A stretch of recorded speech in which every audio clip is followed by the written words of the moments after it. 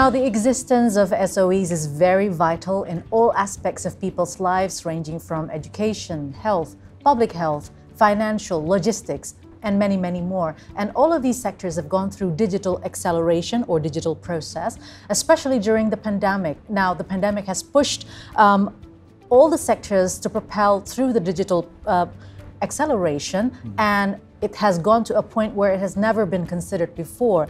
Now, we have also to acknowledge that at the end of the pandemic, the role of digital acceleration would even become bigger as become as a primary factor in making sure that we build and prepare the better future. Now Telkom Indonesia and the subsidiaries have and will continue to strengthen its role as the main operator that facilitates digitalization in Indonesia. And we're very lucky today we have Pak Ririek Adriansyah yeah. as the President Director of Telkom Indonesia with us today. And I'm very excited to hear the insights from you, Pak, as the main yeah. uh, operator uh, of Telkom Indonesia, uh, President Director. So my first question is, Pak Ririek, now Telkom has been playing a big role in digital acceleration, um, especially during the uh, pandemic of yeah. COVID-19. We know that everybody was pushed to a point where they have to go through digital adaptation right. in order to survive during the pandemic, and Telkom played a big role in that. So, my first question would be Indonesia is having a very a massive economic growth, mm-hmm. and we are still uh, trying to reach that goal by 2045 is the biggest mm. economy, yeah. uh, what five biggest economy in the world. And what are the biggest challenges though? We still have challenges such as perhaps our readiness in terms of the skills of the mm. people, mm. or maybe collaborations that are still on hold at the moment. I would like to hear your insights first okay, of all, uh, There are some challenges. Uh, let me start. Uh, the first thing is actually uh, the connectivity. Mm. I think uh, the uh, as Indonesia is one of the biggest uh, islands country, mm-hmm. uh, providing connectivity to other people is quite challenging and and uh, quite costly. That's so right. Uh, we are supporting the program of from the Kominfo to deploy starting last year. they want to deploy to around 12,000 villages. Mm all over Indonesia. Although that's uh, that's one of the challenges. Uh, currently, we uh, the the 4G that we have uh, Telkomsel covers about 99% of the populations. Mm-hmm. That's that's one. the related to the connectivity, there are two more challenges. One is the providing the gadget.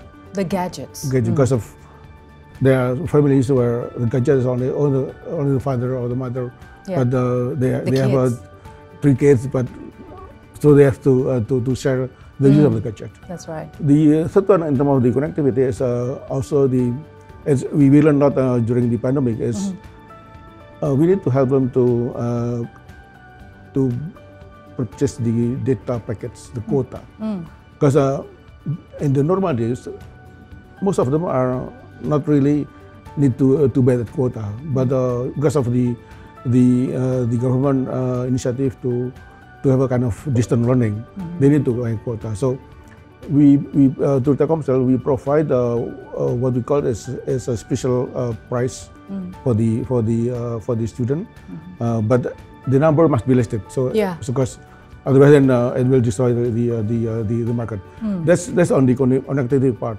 Mm. The second one is actually the readiness of the people mm. for the digital. I think there are there are two parts. One is the people who will use the the the the, the innocent people. Not all of them are actually uh, literate, uh, prepared to, to, to use the uh, the platform. The gadgets. Mm. The second part is actually is digital talent, which we need to to further develop the uh, digital platform. We what we have is uh, is what we have is less than what we need. So that's uh, that's another one. Another one is uh, in terms of the uh, the regulation, those kind of stuff. I think uh, mm. that's also something that that uh, we need to uh, to mm. take a look and and uh, to further supporting the mm-hmm. the use of digital search. But I'm a big believer that digital can do a lot for this country. That's right. So there are still challenges from the connectivity, yes. from yes. the readiness of its people, yes. as well as from the ever-changing technologies right. that you mentioned. Right. Yeah. Now, one of the um, probably uh, things that we need to highlight as well is the digital poverty or the internet poverty. As you Right. mentioned that um, in Indonesia, people say that it's quite expensive still. So how do you think we can actually try to um, uh, try to provide more affordable um, internet access Yeah. um, for our uh, greater society of Indonesia. As you mentioned as well, that uh, many many people very uh, very um, having its limitations, not only of its gadgets but also to buy the quota, for example, Yeah. and now the distant learnings, and also a lot of businesses are now conducted Right. through digital. Yeah. Well, um, I think uh, the government also have a plan that, uh, to to I think it's going to be launched in sometime in 2024. Uh, The uh, what they call is a high throughput satellite uh, HTS, so it's basically providing uh, through satellite providing uh, via Wi-Fi to to all the the remote area. Uh, the the only difference with uh, cellular is Wi-Fi. They must use it uh, whether they put the Wi-Fi in the in the in the school or in the uh, in the uh, county or whatever, but it may not be available at the at the houses uh, compared to cellular available uh, everywhere. But the Wi-Fi is due to the nature that the coverage is, is quite limited. So the people must come to, to that point uh, before they can use it. But uh, in terms of uh, in terms of uh, cost, I think it should be much much lower. All right, so hopefully it's going to come in, the, um, in due course in 2024, as yes, you mentioned. yes. Now, it's very much resounded during this uh, SOE International Yeah. Conference that um, all of our focus needs to go through the, um, the main focus of sustainability and inclusivity in, in every way that we do. Right. Now, SOEs um, have been playing a great role in this, especially Yeah. Telkom as well. And in Telkom, I see that it is going through this business transformation right Yes. now. Um, It has become a digital telecommunications company now. But Eric, how far has the process gone so far? Well, uh, it's still on, ongoing. Uh, we declared the transformation is back in uh, late 2019. Uh, so we it's been uh, three years.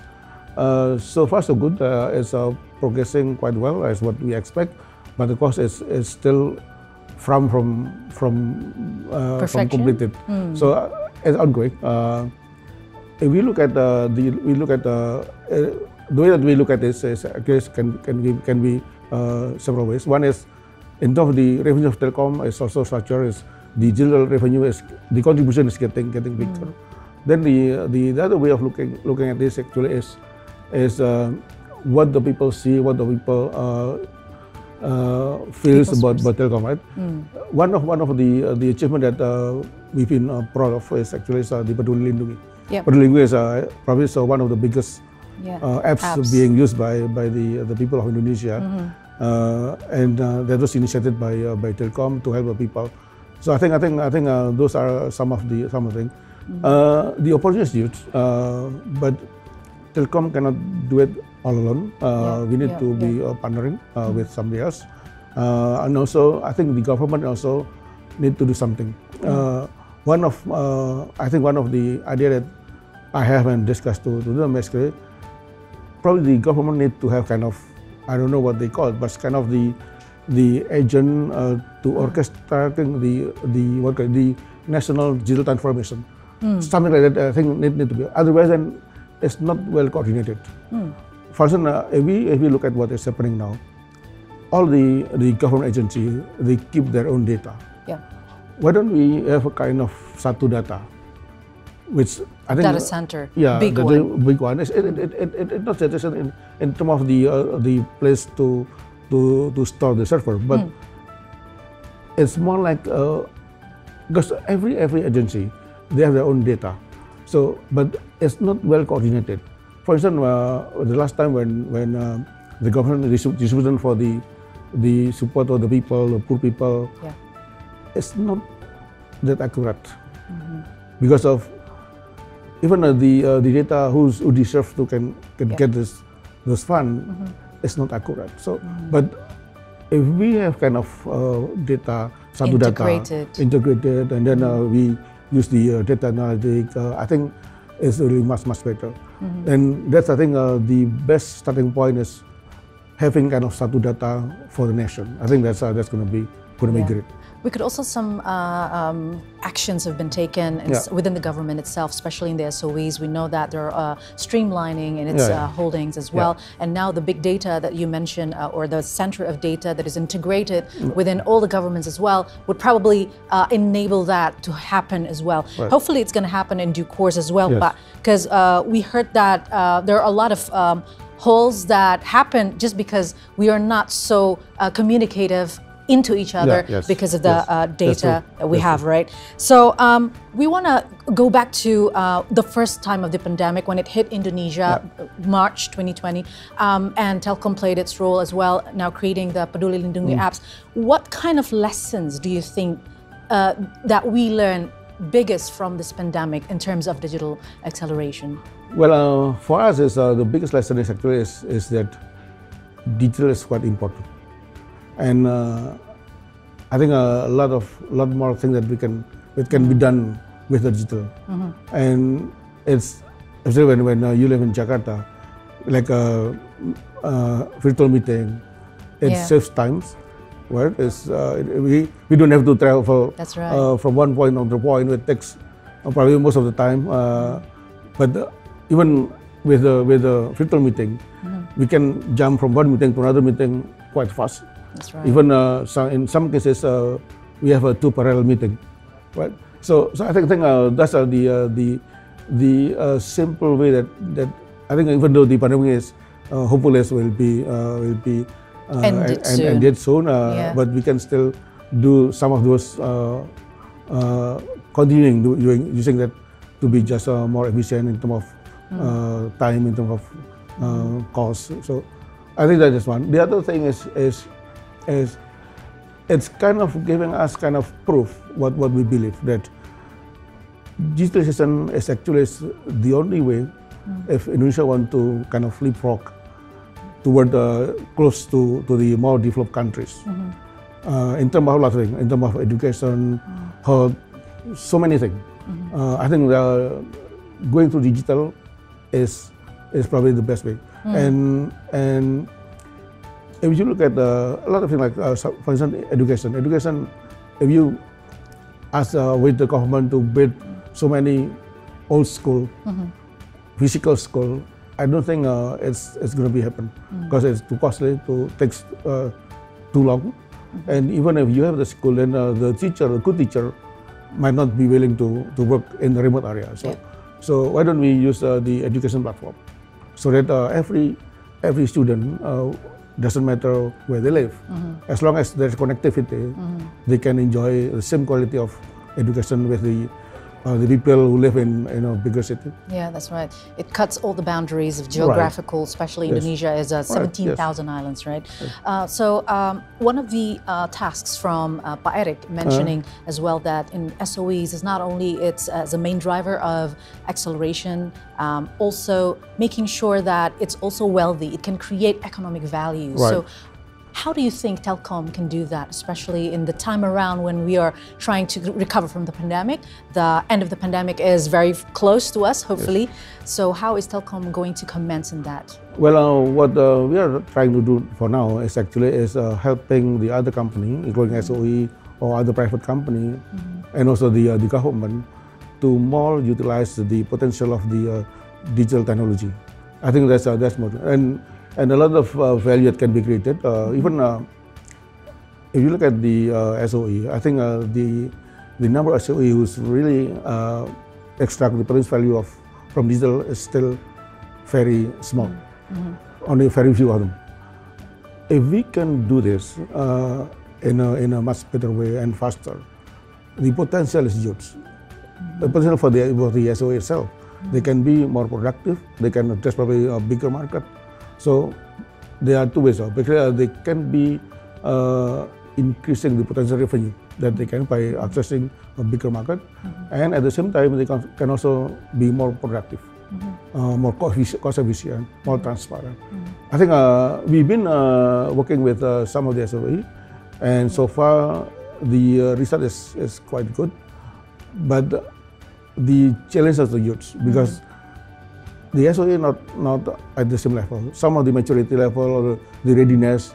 Some SOE are they are prepared. They are uh, quite ready to to jump to the digital uh, Yeah. platform, but some is need cer- certain effort to, to be ready. That's right.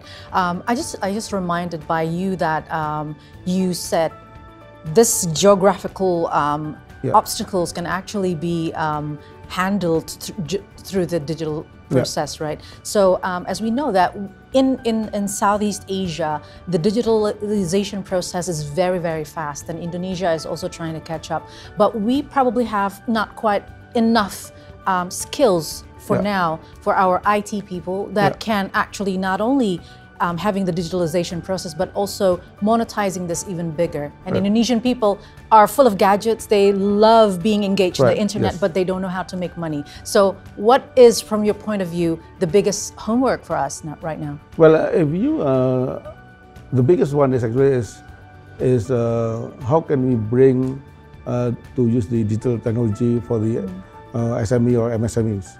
I think that's a, that's a, as you well aware that they contributing to what uh, more than 90 percent, probably 97 percent of the economy of Indonesia, including uh, the employment also. Uh, they contribute, they provide probably 95, 97 percent. Uh, so bring them to the digital is is is really a big thing that can happen. I know that, that the, again the challenge is, is, is, is huge, but the potential is also very very big. As Pa Erick mentioned, that uh, by 2030, the potential economy, or digital economy of Indonesia is is more than four, I think it's 4,500 trillion rupiah, which uh, represent about 40 percent of the of the uh, of the size of the economy in ASEAN market, and the growth is about eight eight times, and the digital economy of Indonesia is uh, growing about eight times faster than the GDP itself. So I think the only way if we want to to to reach to certain level and close to the the uh, the developed countries, I think the government must also supporting how can we grab the potential of digital economy as much as we can. Okay, now I'd like to go to this uh, topic about uh, Telkom Indonesia um, going through business transformation, Yes. Pak Ririek, um, to become digital telecommunication company. So, how far has the process been gone so far? Well, so uh, far? it's uh, it's still uh, it's ongoing. Uh, so uh, we are trying to because telco used to be focused on the connectivity. So we we we are uh, we're still going to be doing the, the connectivity, but we need to do beyond that one. We will uh, uh, other than the what we call digital connectivity, we have uh, the second uh, second pillar that we have is is what we call a digital uh, platform, which consists of things like data center, cloud, big data, IoT, this kind of stuff. And then uh, the third one is actually uh, what we call digital service. It's uh, in a simple way, it's probably like a application apps. On the apps, uh, some we develop ourselves, but some other we working with somebody else. So from connectivity toward uh, digital platform and then uh, apps or services, we open up uh, the the opportunity to to to have a partner because uh, we understand that our competence is starting from from telco Yeah, and then getting to the right is, is getting less. So that's why we need we need uh, help of somebody else. So collaboration, Collaboration, is the key in that. Now, Yes. in the big uh, umbrella of uh, digital transformation, there's digitization as well. Right. Now, digi- how how how hard is it? I mean, um, Telkom is an SOE, and probably it has certain bureaucracy in it. How difficult is it to transform all of the um, layers inside Telkom to be digitized in this case? Well, uh, it is a big challenge because uh, if we uh, look at the the uh, the culture of being a telco, telco is always started from technology. Whenever there uh, there's a new technology, then we im- implement them and then uh, we offering to the customers. So start from ourselves, start from the technologies available uh, to uh, to the market. Digital is totally different story. Digital start from the customers because digital we must start from what is the uh, the uh, problem that the people have? Or if there's no, no problem then what can we do so that these people we can help them uh, so that their, their life much easier? So starting from from from from the people starting from from the market from the customers. So it's, it's totally different different. So the one of the challenges is beside uh, adding a new competence uh, to Telkom, also switch the, uh, the mindset, switch the culture mm. that they should be looking at the customer first instead of themselves. Instead of what it's not it's not it's not a matter of what can we do, yeah. but it's a matter of what they need. Right. Mm. So changing the mindset yes. that it has to come from the uh, right. insights of the customers, what they right. need, yes. and then we can provide something to them.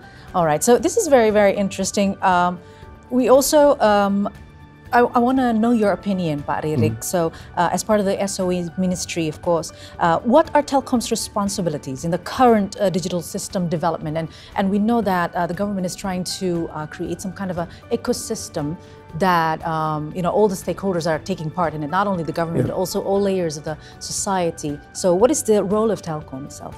Well, uh, the the main role, of course, is, is being a telco. We provide the connectivity. Mm -hmm uh, there are two, uh, two things. One is that we must we must uh, fulfill whatever the commitment mm-hmm. that we have. Uh, commitment in terms of the uh, telco is commitment to the uh, Kominfo because uh, we got the license and within the license there's a certain commitment. Mm-hmm. So that's that, that one. Beyond that, uh, we work with uh, with uh, with uh, certain party, mainly as uh, Kominfo, BAKTI, uh, to further deploy the connectivity to the remote area with being a telco, our mandatory is one is that uh, fulfill the commitment. The second yeah. one is is uh, we must have pay the USO fund, uh, uh, mm. to help the government to deploy in the non-commercial remote area. So that's that one. Uh, that's that what what uh, what uh, the what we responsible. Mm -hmm. The second part is actually is uh, is how can we uh, help the government, help the the uh, the LC uh, and of the the people in in general uh, to start to use the digital uh, so that uh, the this country can can like I said before uh, can be doing kind of reaching the level where it's close to the more developed country mm-hmm. in terms of a lot of things like education, health, and and and a lot of things. So I think those those are the two part of of, of the, the main role of the telecom is connectivity and then uh, uh, the implementation of digital technology itself. All right. Now, uh, you mentioned about um, the uh, startup companies, the SMEs yes. as well. So um, there are many investments that have uh, had positive impacts yeah. on Telkom's financial statements. Are there any special criteria for them, for the startups companies, to receive funds from yeah. Telkom?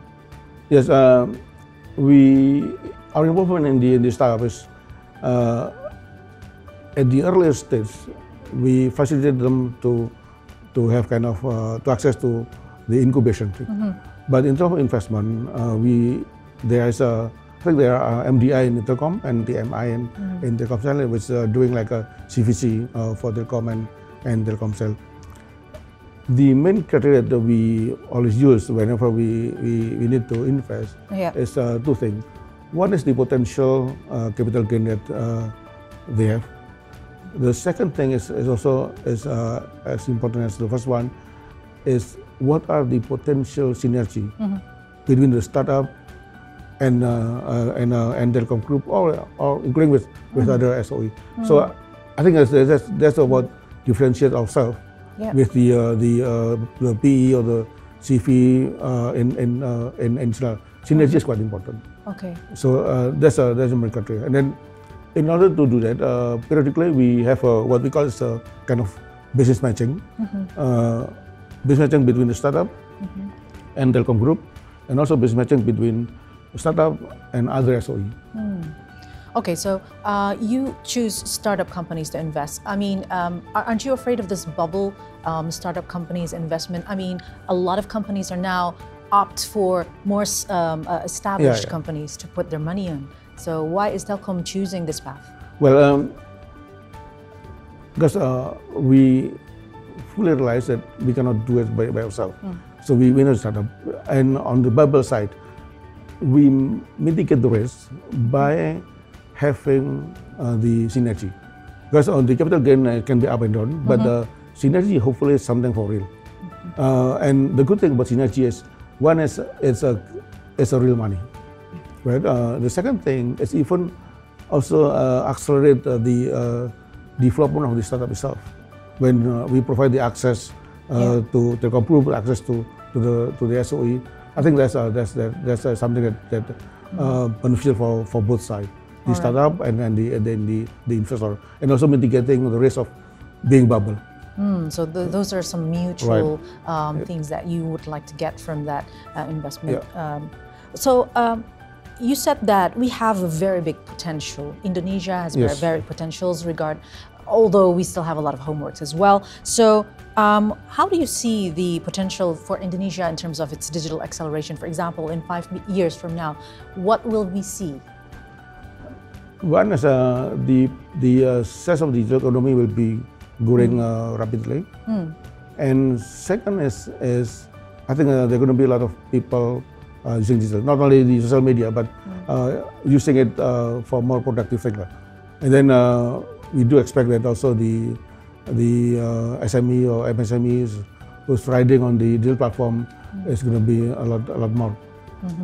All right. So, if you have um, insights about for um, all of the Indonesian uh, people out Mm. there, especially the ones who are watching us right now, um, as we transform ourselves into more digitalized and also digitized as well. How can we participate in this so that we can achieve that ecosystem? We can achieve that target to become one of the biggest economy by 2045, for example. Well, uh, it, it, it really uh, depends on, on uh, what uh, what you do. Uh, Assuming that uh, you one of the uh, SME or the SME, then then uh, Telkom together with the uh, the uh, SOE uh, Minister Office, uh, we uh, preparing kind of what we call UMKM. This uh, basically any any UMKM who want to uh, to to sell their product uh, Yeah. to the.